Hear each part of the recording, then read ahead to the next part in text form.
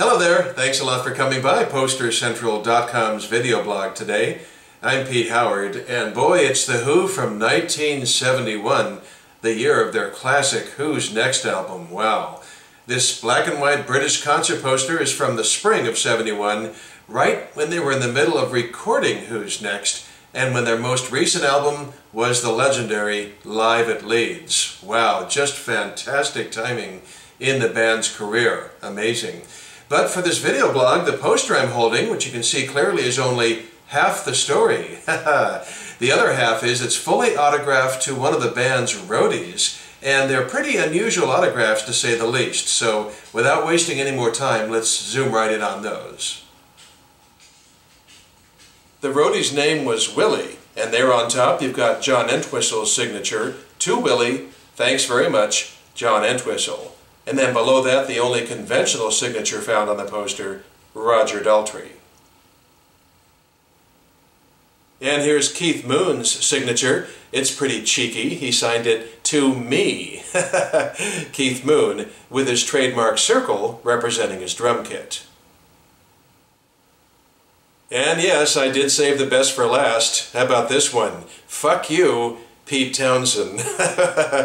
so, you know, with that one, that really confirms that these were inside the family autographs. Boy, what a set of autographs on a vintage concert poster, huh? Man, I'll tell you.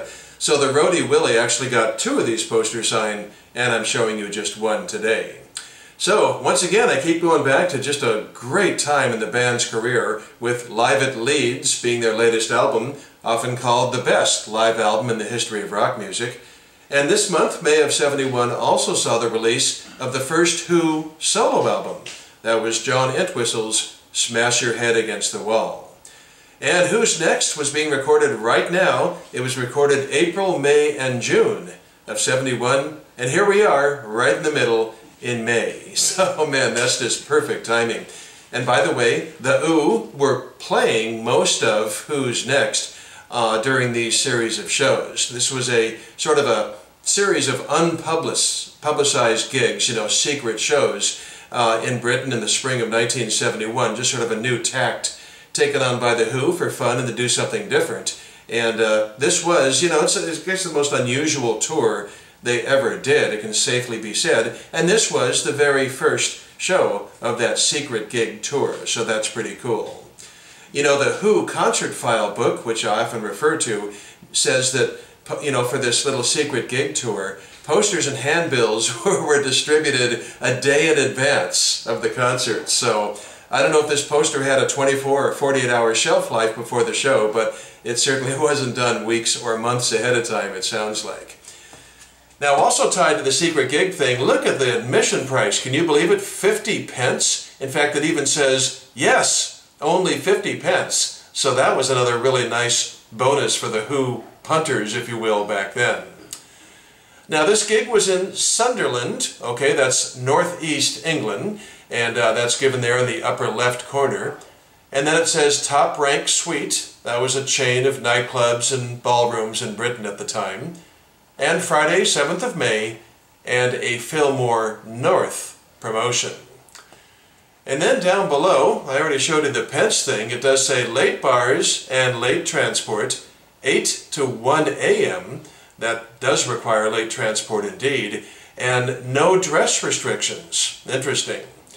Then you've got the bottom three lines are all ticket information, but two of them are dedicated to the cheap price. they really like to, and they, as they should have, you know, really promote that 50 pence. And then the middle line gives three locations where you can buy those tickets. So, boy, I'll tell you, between the autographs and, you know, the secret tour and the great timing in their career, Fantastic poster. Granted, it's only black and white with no graphics, right? But it's got all this neat stuff attached to it. And guess what? There's still one bombshell I haven't mentioned yet, okay? If you can believe this. According to that Who book I just referenced, um, on the way home from this concert, that very night, supposedly around dawn, that's right, the cover photo for Who's Next was taken.